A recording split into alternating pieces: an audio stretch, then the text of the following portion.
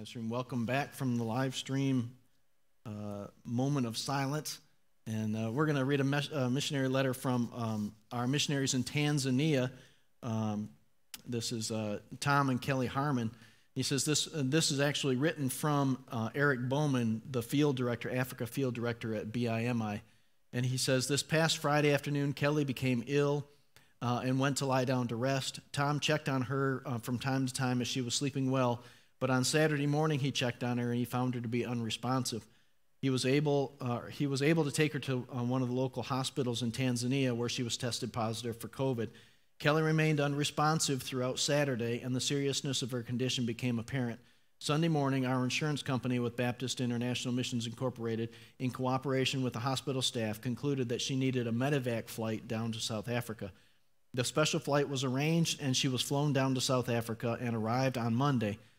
But because of COVID protocols, Tom and the family were not able to accompany her on this flight, and arrangements are being made for them to fly commercially down to South Africa as soon as possible. BIMI has excellent international health insurance coverage for their missionaries, but as you can imagine, there will be extra expenses that the family will incur, incur while in South Africa.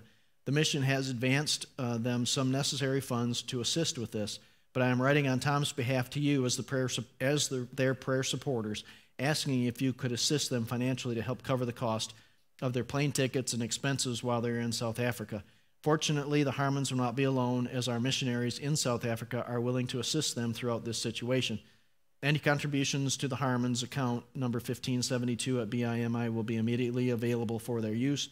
I am currently in Africa, but if there are any questions regarding this, please, please feel free to email me, and he's got it on the, the prayer letter here, and I will reply as soon as possible. Thank you once again for your support of the Harmon family, and I know you will be an extra prayer for Kelly and the family during this time. And I've got Kelly on our um, prayer letter tonight, so you can take that home. We'll be praying tonight for her, and then you can take that home and pray for them throughout the, the week. then the last uh, letter is a long one from the, um, the John Bach family, and he says, Greetings in the name of our Savior. It's hard to believe that uh, well over a year has passed since necessity required us to leave the place, our, our place of ministry in British Columbia, Canada. Um, our hope, obviously, was to return as soon as possible, thinking that the duration in Tennessee would be a matter of months at the most.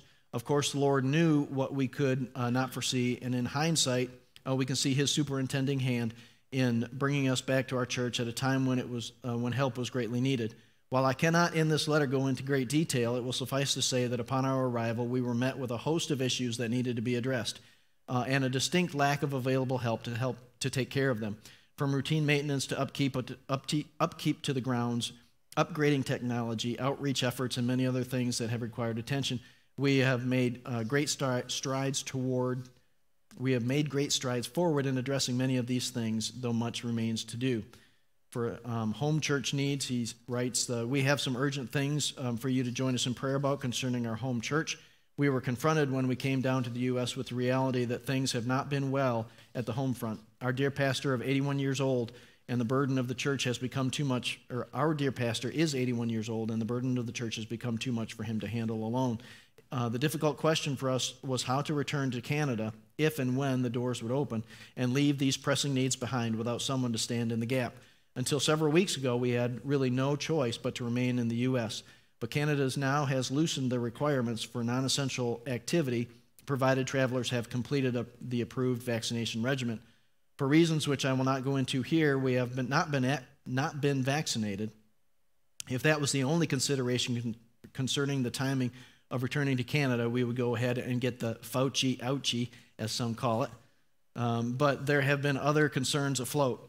Pastor Combs has asked me to pray about serving with him at the church as an assistant pastor and to take the church when he is to step down. Considering the circumstances that required us to return to the U.S. and our home church, we have prayed long and earnestly about that prospect. We do, we so do desire, we so desire uh, the Lord's will. Our wish would be to return to Canada, and while that has not been possible up to this point and remains so because of our current project at hand, uh, because the current project at hand is not yet finished, we wanted to let our supporting churches know how best they can pray for us. This would be this would not be a full paid, um, full time paid position. The church is small, though we have seen recent growth. With much work and prayer, the Lord is blessing our church. Yet so much remains, and we uh, we say as or with the apostle of old, brethren, pray for us. for the house progress, he says, The Lord has blessed our church with uh, four new members. Two, uh, two people have responded to our Google ad campaigns, and a couple uh, transferring membership from another church. They have jumped right in and are ready to serve where they are needed. One of these new members, along with a longtime member of our church, has been a great assistance to me in rebuilding the church parsonage. What started as a partial floor replacement has turned into a whole house rebuild. From sheetrock to siding and just about everything in between, the damage from the termites, together with the um, faulty original construction, have required us to go to the extent in taking care of this, uh, to great extent in taking care of these pressing issues. To tell folks, uh, or I tell folks that this project is supplying me with a lifetime of sermon illustrations. With the price of lumber down and its from its ridiculous highs, and with the help of the Lord, the help that the Lord has brought, we are pressing on to finish. It is our hope for the upstairs to be reasonably finished by the end of the year.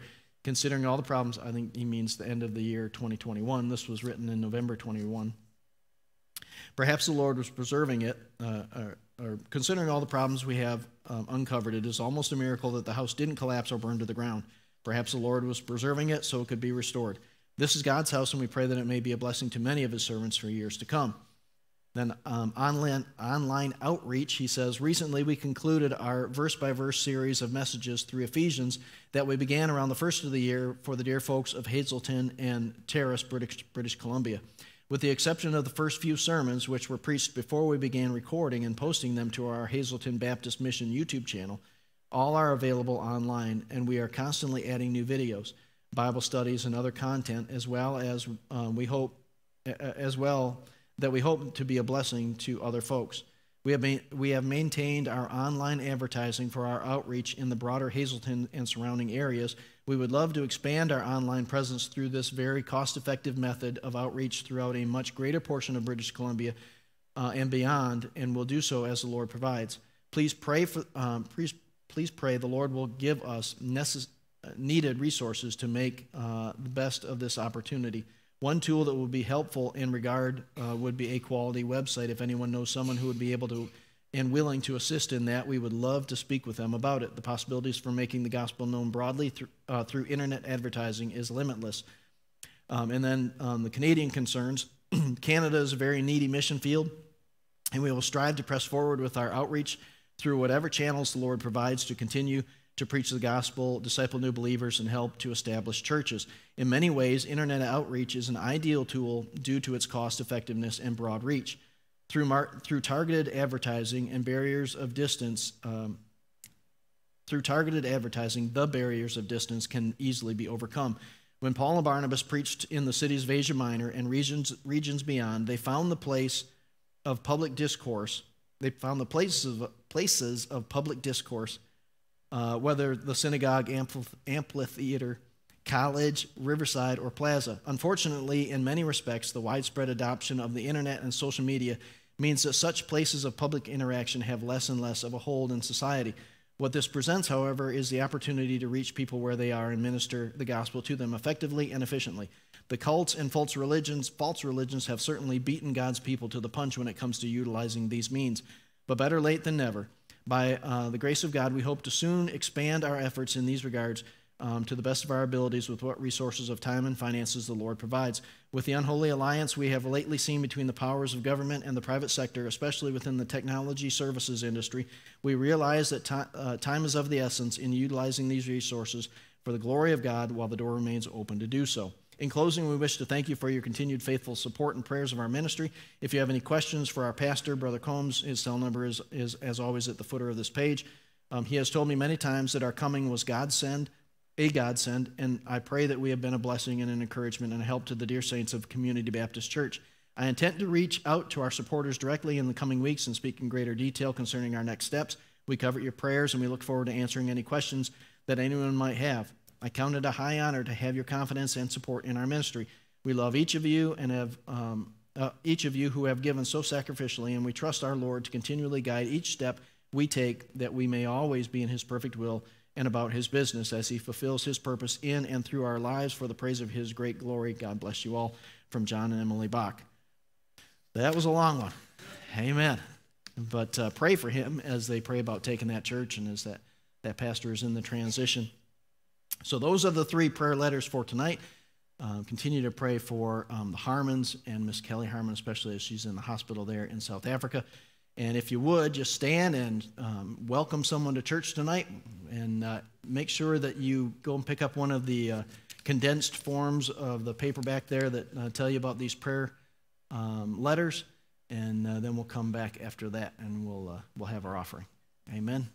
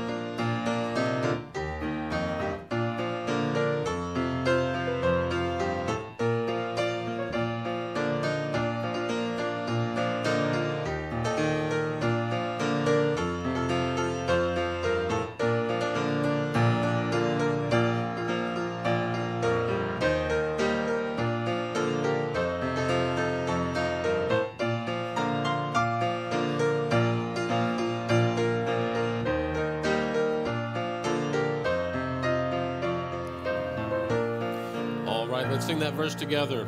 Would you be free from your burden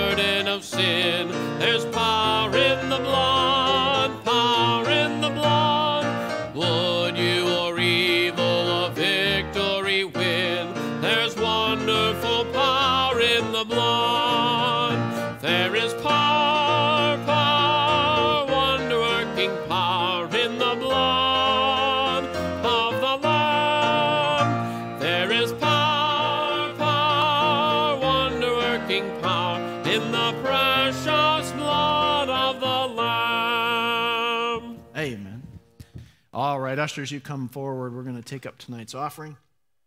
Wednesday night offerings go all towards fall fellowship. And this is the time of year when we say it'll be here sooner than you know. And it seems like within a month and a half, we're saying fellowship is three weeks away. Amen. Let's pray. Father, we sure do love you, and we sure do look forward to that time when we have the, the preachers and their families come for fall fellowship and just all that that entails. The preaching that we hear, Lord, just the blessing it is to have those people here. And Lord, I ask that you just would help us to prepare our hearts and, and minds to be a blessing to them. And Lord, we just thank you for all that you've done, what you continue to do for this church. Would you bless the ministries? Would you watch over Pastor and give him some help tonight? And Lord, we'll just give you thanks for this offering. In Jesus' name, amen. You may be seated.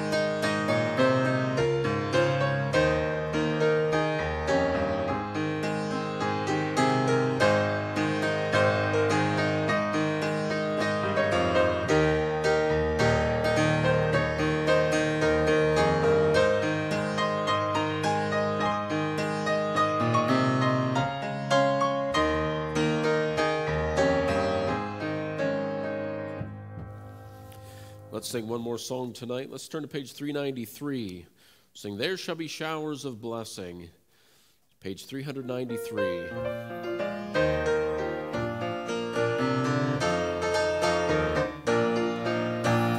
There shall be showers of blessing. This is the promise of love. There shall be seasons refreshing, sent from the Savior above.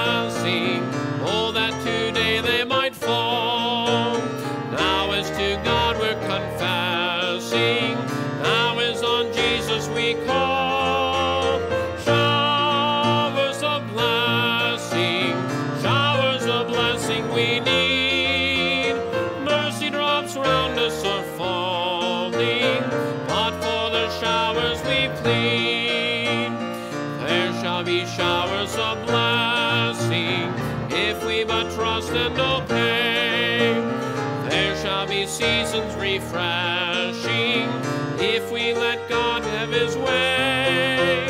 Showers of blessing, showers of blessing we need. Mercy drops round us are falling, but for the showers we plead.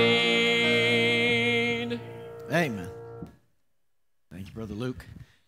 Tim Leonard is going to preach for us tonight. Um, Brother Tim. Yeah, the whistles and the clapping, and all that kind of stuff. I told him, I said, we could dim the lights and start the fog machines. You could come out from the back. He wouldn't have any part of that. I'm, would have been a good night for it. Amen. I, he said that. I told him I'm in a fog half my life, so I have my own fog machine. I navigate through it all the time. Turn to the book of uh, Gospel of John, chapter 20. The Gospel of John, chapter 20. I'll get out my 10 pages of notes, and don't worry, I'm not going to pay any attention to them most of the time. John chapter 20. Pastor called today and said he wouldn't be able to be here tonight and asked me if I'd fill the pulpit. And thank you very much, preacher, for your confidence. I'm sure you're watching tonight. I hope you'll feel better soon. And honestly, I'd rather you were up here tonight rather than me. I'm not going to lie, I enjoy it when I do get the chance. But uh, thank you very much for your confidence and allowing me the opportunity to preach. John chapter 20. And. Um, Boy, let me see here. What verse? I want to look at verse number 11. Verse number 11. And the Word of God says, But Mary stood without at the sepulchre, weeping. And as she wept, she stooped down and looked into the sepulchre, and seeth two angels in white sitting, the one at the head and the other at the feet where the body of Jesus had lain. And they say unto her, Woman, why weepest thou? She saith unto them, Because they have taken away my Lord, and I know not where they have laid him.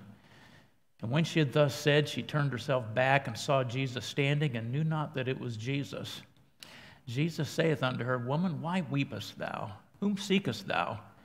She, supposing him to be the gardener, saith unto him, Sir, if thou hast borne him hence, tell me where thou hast laid him, and I will take him away. I was amazed. I, I, this amazes me. She thought he was the gardener. Can you believe it? A case of mistaken identity. Here she is with the, the very Son of God almost beside her and she didn't know who he was. I'd like to speak to you tonight on the unrecognized Christ. Let's pray, Lord. What a subject. Lord, I come before you trembling tonight. Lord, I love to I love to speak about Jesus, Lord. Our all in all. Lord, the, said if everything was written, all he did, all the books in the world couldn't contain. Lord, we just got a few minutes tonight, so I need your help. I need you to guide my thoughts. I pray you would Help me to say what needs to be said, what will accomplish your purpose, Lord. I want to be a blessing tonight to your people. So I pray your Spirit's help. For Jesus' sake, I pray. Amen. Years ago, I read a uh, story about a fellow who'd gotten a new car. And uh, this was back in the days when cars just first came on the scene, early 1900s. He had a Model T Ford. And uh, he was out for a ride one day, and he was so proud of himself. And he's riding down the road, and all of a sudden, pulls it off the side of the road, broke down. And Just, I guess if you're a Ford owner, you just have to get used to that. He gets out, he rolls up his sleeves, he opens the hood, he gets under, and he's underneath going at it. He's tearing things off and turning bolts and going at it. And you know how it goes, fellows. You've all been there if you've worked on a car before. Brother Dan, I know you've been there. so uh, he's working on the car, and Pretty soon, another car pulls up beside him, and this old guy's sitting in there, and he looks over at him. He says, Hey there, young fella, you need a hand with that thing? And about that time, he's pretty exasperated. He looks at the guy says, Old man, I probably know, I've probably forgotten more about this thing than you'll ever know about it. I don't need your help. Thank you. Good. Have a good day. The old man, Henry Ford, went driving down the road. Whew. Wonder if Mary felt like that. the very one who could solve the problem I just didn't recognize who it was. How many times are we like that, I wonder? There's Mary. She's just uh, twice they said, Woman, why weepest thou? I don't know if it's you know the tears in her eyes or the early morning gloom, and but she sees him there and she thinks he's the gardener. I, did he have a rake in his hand? I don't think so. She thought he was the gardener. He's the Alpha and Omega, beginning and the end, the one that was. he that liveth was dead and is alive forevermore. Wow, she, she thought he was the gardener. Gets exciting though. Jesus saith unto her, Mary, she turned herself and saith unto him, Rabboni, which is to say, Master. You know what? He revealed himself to her. How? He said her name, Mary. She knew who he was then. There's something about that. Her response, Master, when she finally realized it. Case of mistaken identity. Times of great sorrow. Many times I'm afraid that we just don't recognize that Jesus is there just don't recognize. Ah, boy, we've got Dr. Phil, we've got Oprah, we've got Dear Abby, we've got every. I don't even know the, the names of the people to, that are in vogue today, the talk show people or the, the, uh, um, the self help people.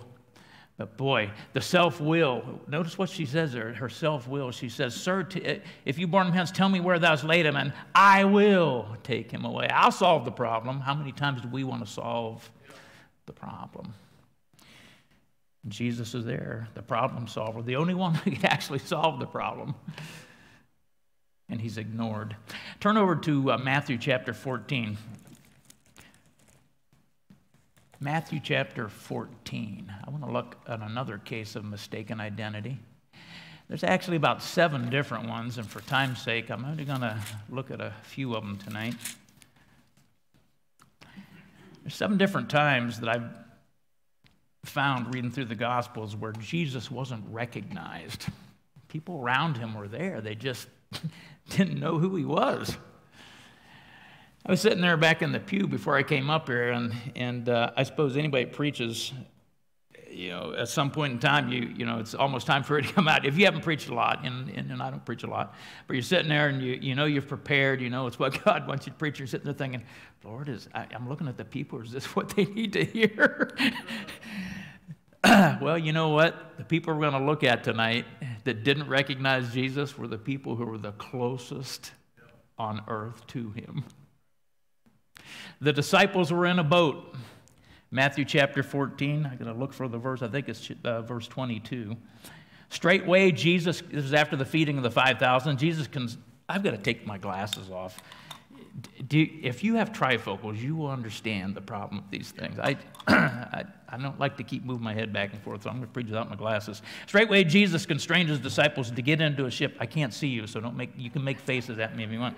Straightway, Jesus constrained his disciples to get into a ship and to go before him under the other side while he sent the multitudes away. And when he had sent the multitudes away, he went up to the mountain apart to pray. And when the evening was come, he was there alone. But the ship was now in the midst of the sea, tossed with waves, for the wind was contrary. And in the fourth watch of the night, Jesus went unto them walking on the sea. And when the disciples saw him walking on the sea, they were troubled, saying, It's a ghost!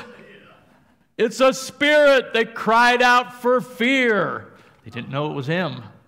Can you believe it?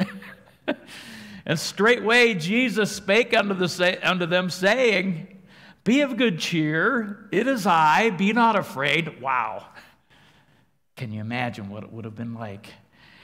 In times of great peril, times of great danger, in the midst of the storm, in the boat with the waves tossing. I don't know about you, I don't like being in boats. I, I know there's fellows here in the church that go out on the big lakes and fish, and I've done that a couple times, and I have gotten sick every time. I've taken, I don't know how many Dramamine, and for me, it does not help.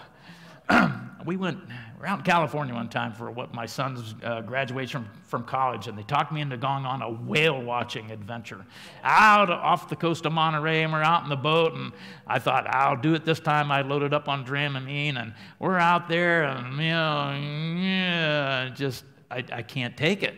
And I'm down in the bottom of the boat, and find my kids run down. Dad, Dad, come up and see the whales are out here. I can empathize with the disciples in the boat. I would have been like Jonah in the bottom of the boat. I don't know if he was throwing up or not, but I, would, I, would, guess that if uh, when you're in a boat that's tossing and turning. But um, this account in Mark chapter 6, the same account says that they were toiling in rowing. They were toiling in rowing.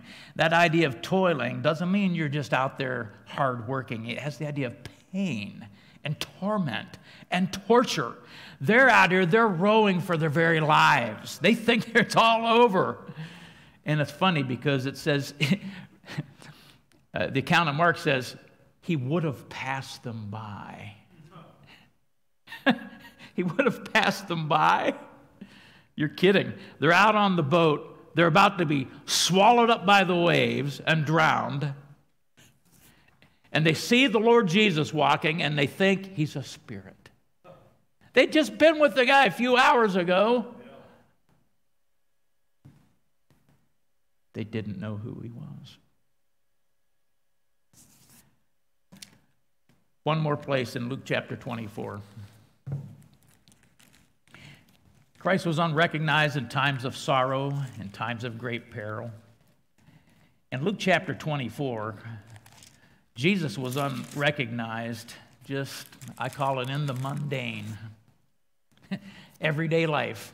you think about some of the things we read about in the Bible, all the great uh, instances where God flexed his mighty arm.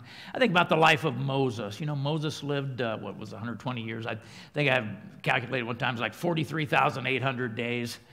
That's a long time to live, folks. That's a lot of days. But I want to tell you what, the Red Sea parting was only one day out of that 43,800. What about the other 43,799 days? Now, I, for granted, there were other great events in the life of Moses, much more so than mine.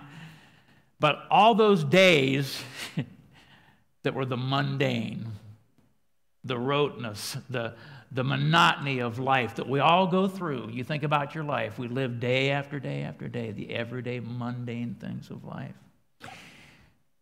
Here's the story in Luke chapter 24. Look at verse number, I'll find it in a second, 13.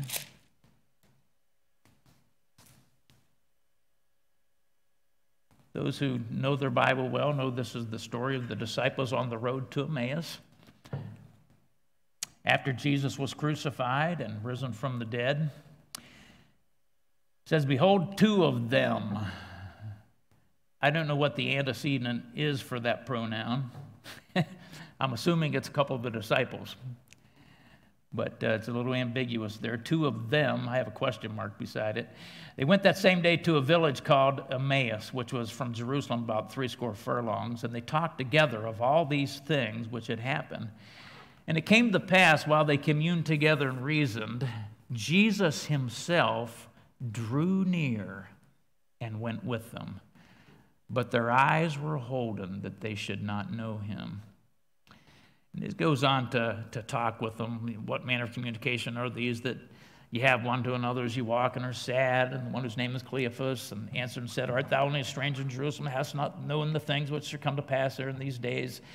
He says, What things? And they said concerning Jesus of Nazareth, which was a prophet, mighty in deed and word before God and all the people, how the chief priests and our rulers delivered him to be condemned to death and have crucified him. But we trusted that had been he which should have redeemed Israel. Beside all this, today is the third day since these things were done. Yea, and certain women also of our company made us astonished, which were early at the sepulchre. When they found not his body, they came saying they had also seen a vision of angels, which said that he was alive. And certain of them which were with us went to the sepulchre and found it even so as the women had said, but him they saw not. Then he said unto them, O fools and slow of heart to believe all that the prophets have spoken, not, not Christ to have suffered these things and to enter into his glory. And beginning at Moses and all the prophets, he expounded unto them in all the scriptures the things concerning himself. They still don't know who he is. And they drew nigh unto the village whither they went. And he made as though he would have gone further, but they constrained him, saying, Abide with us, for it is toward evening, and the day is far spent. And he went in to tarry with them. And it came to pass, as he sat at meat with them, he took bread and blessed it and brake and gave to them. kind of reminds me of the uh, quote from the Lord's Supper. He took bread and blessed it and gave thanks. Gave them it, saying, This body, this is my body which is given for you. Verse 31 says, And their eyes were opened, and they knew him, and he vanished out of their sight. And look at the response here. they said one to another, Did not our heart burn with it, within us while he talked with us? By the way, while he opened to us the scriptures. How many times do we live our everyday life? how, how, does your heart burn? we have the availability to daily but how many times we just fail to recognize Christ working in our lives on an everyday basis. I've got several other ones, I, but for time's sake, I, I wrote down a couple pages of comments that I'd like to make about these instances. In every one of these cases, they all saw him but they didn't recognize him. Now, that's hard to understand. Let me give you some thoughts on that. We live in a world that operates by sight. A world that operates by sight. Oh, the old saying, seeing is believing. But you know what? That's not how God works. Just the opposite. God wants faith not sight. Without faith, it's impossible to please God. He that cometh him must believe he is a rewarder of them that diligently seek him. Paul said, We walk by faith and not by sight. But we live in a world that is just so, we're, we're so uh, inundated with the idea that we have to see it to believe it. Just, just think about the last year and a half, two years. We've got to follow the science. What's the one of the main tenets of science is observation, seeing. You have to see it, you got to be able to reproduce it. We live in a world that our worldly system, that's, that's what they worship. Seeing, being able to observe, the science, of course, I, I believe it's like Paul said uh, to Timothy uh, beware of the uh, oppositions of science, falsely so called. So I think that's what we uh, deal with today more than we would love to admit. You know, we all want to see it. We all want to see him. Fanny Crosby, oh, she couldn't wait to see the, the Lord Jesus. She couldn't see in this life, of course. But look, I, I want to see him too. Think about a gospel song. Oh, I want to see him, look upon his face. Thomas Doubting Thomas, except I see the prints of the nails in his hand, thrust my hand into his side. The Greeks in John chapter 12 came to the disciples and said, Sir, we would see Jesus. We live in a world that's based on sight. The problem of that is many times we fail to comprehend what we see or we misinterpret what we see.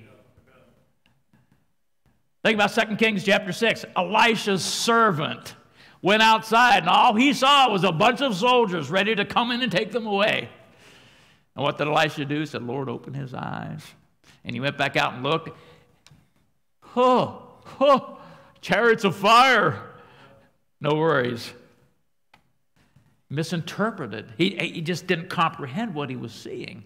The disciples in the boat. Here's the guy that could whisper, Peace be still, and everything's going to cease. And they think he's a ghost, a spirit. We're all going to die.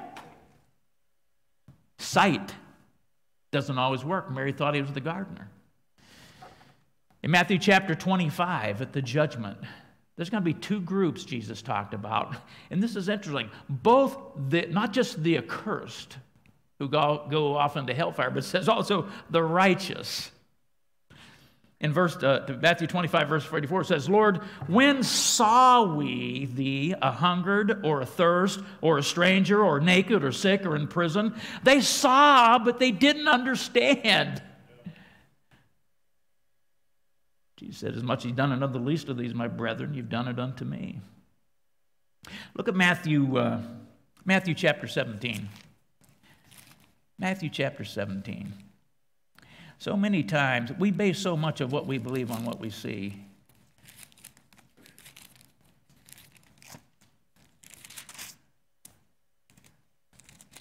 I'll believe that when I see it. Uh, oh, yeah, there it is. I had the wrong reference written down. Matthew 17, after six days, Jesus taketh Peter, James, and John, his brother, bring them up to a high mountain apart, and was transfigured before them. And his face did shine as the sun, his raiment was white as the light. And behold, there appeared unto them Moses and Elias talking with him. Then answered Peter and said unto Jesus, Lord, it's good for us to be here. If thou wilt, let us make here three tabernacles one for thee, one for Moses, and one for Elias. Wrong thing to say. While he yet spake, behold, a bright cloud overshadowed them. Behold, a voice out of the cloud which said, This is my beloved Son, in whom I am well pleased. What's he say? Hear ye him. Peter misinterpreted what he saw. And God smacks him down. And what's he tell him? This is my beloved son. He says, Hear ye him. Now, let's go back to we live in a world that operates by sight, but God doesn't want us to operate by sight. God expects us to operate by faith. Romans chapter 10, verse 17 says, Faith cometh by what? Hearing. hearing. And hearing by the word of God. I want you to think back about the three different examples we've looked at. Mary didn't know who he was until he said, Mary spoke. The disciples were in the boat. They didn't realize it was Jesus until he said, Be of good cheer. The people on the road to Emmaus, the disciples on the road to Emmaus, they heard him speaking, but it wasn't until he spoke specifically something they specifically remembered him saying the prayer. And they heard his voice. In all of these occasions, they had to hear his voice or recall previous experience where they heard his voice in order for them to realize and to see and to recognize who Jesus was at that, at that given moment. Folks, you, you can't overemphasize the importance of the Word of God. The hearing of God's Word is, is, is incredibly important to our lives. Jesus said, My sheep hear my voice and they follow me. It's not if you can see him, it's can you hear his voice? And where's his voice? It's right here, the Word of God. We only hear him by this, by his Word. It's amazing. The rich man, in Luke chapter 16, the rich man in hell went to Abraham. He said to, he said to Abraham, said, I pray that you take Lazarus and send him to my five brethren, he may testify unto them, that lest they also come to this place of torment. what did Abraham say to them? If they hear not Moses and the prophets, neither will they be persuaded, though one rose from the dead. Hear it. Hear the word of God. It's no wonder that we don't see Jesus in our everyday lives. It's no wonder we don't recognize him when we're in trouble, we're in peril, we're in sorrow. We're, we're, we're, we're so, the world just drowns out his voice. Apostle Paul wrote about so many voices in the world. We can't hear. All, all, all we hear is, is uh, I mean, we're too busy listening to the uh, talk talk radio and Fox News and our favorite blog and our favorite TV show and and uh, my goodness, uh, all the all the uh, talk about oh boy, Joe Biden did this and Donald Trump did this and there's more COVID coming and and there's climate change and the world's going to burn up and there's more COVID. You're going to get COVID if you walk out to the grocery store and and somebody did this and ah! you want to plug your ears because the voices of this world, it's not by, it's not by chance, folks, it's by design. There's somebody out there, the prince and power of the air of this world, that wants to do everything he can to keep us from hearing the Word of God.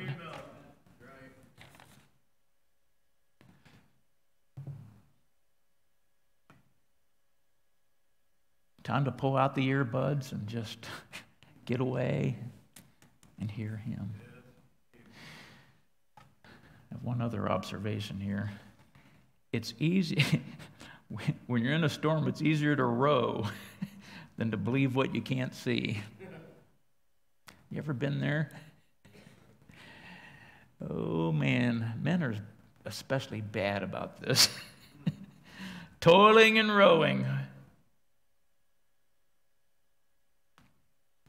We don't have the eyes to see because our ears are so full of this world world's music, the world's talk, cares of life. In all of these instances, every case we've looked at, you know what? Jesus was waiting for one thing to be acknowledged. And the people couldn't acknowledge until they heard him say something.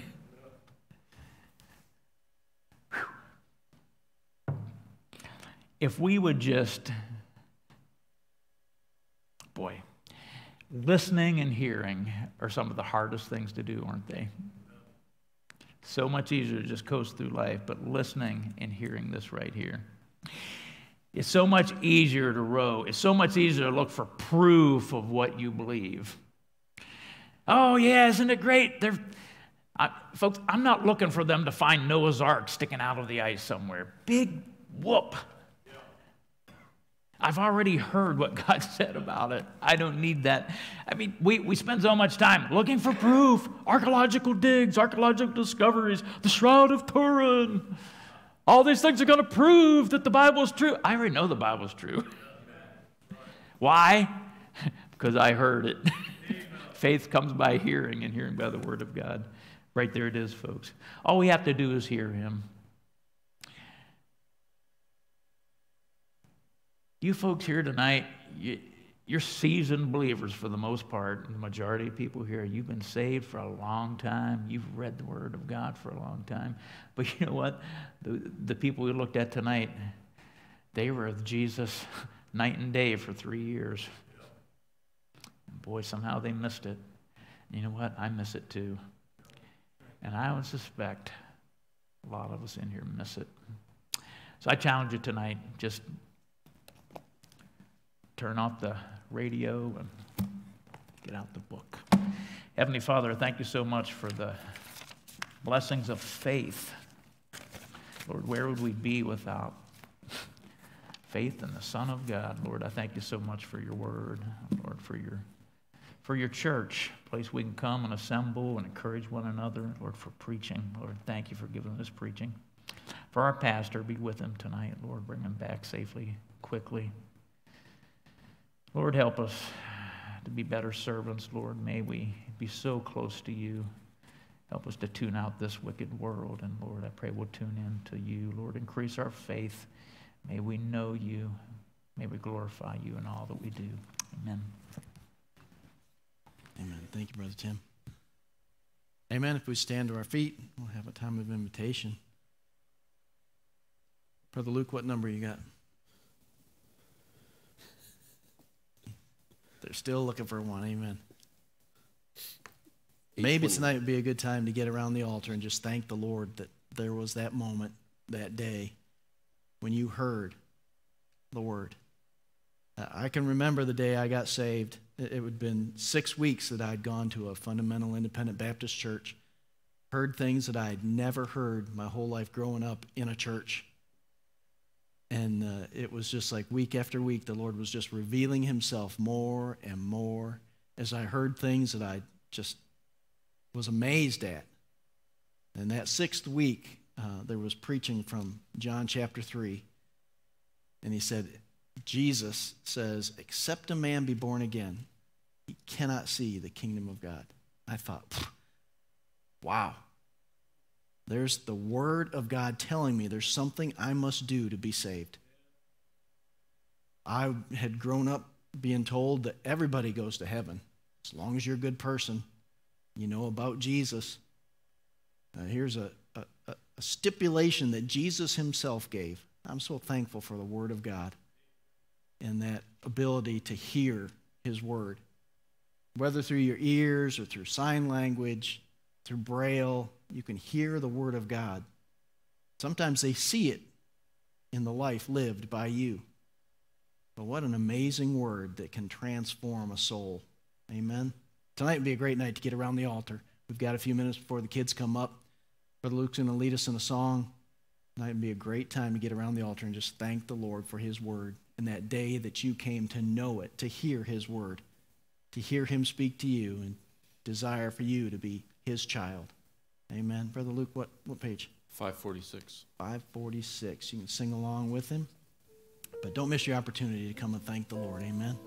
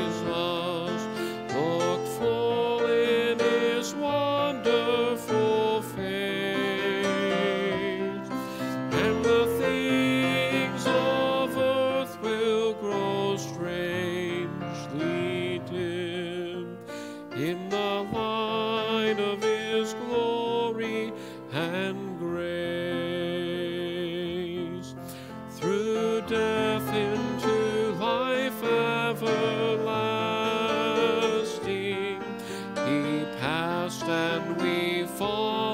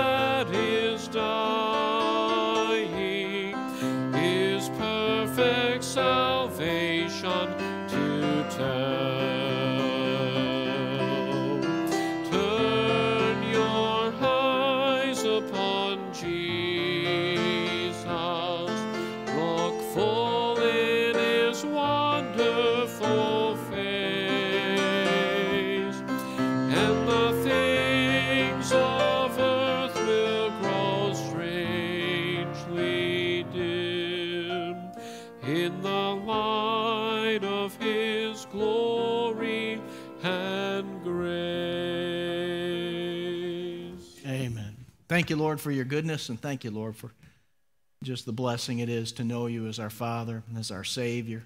Lord, I, I just thank you for allowing sinners like me, Lord, to be in your presence because of the blood of your precious Son. Lord, we ask that you just would bless the rest of this evening as we come before you in prayer corporately as a church. And Lord, we, we desire, Lord, to please you in this time when we draw close. And Lord, thank you for the preaching. Thank you for Brother Tim and his willingness to preach on such short notice. Lord, I again I ask that you just would watch over Pastor and his family and just heal them. And Lord, we just give you thanks for all that you do and all that you are. In Jesus' name, amen. Amen. The prayer sheets are on the back. Make sure you get those. The kids will be coming in soon. And we'll have our child.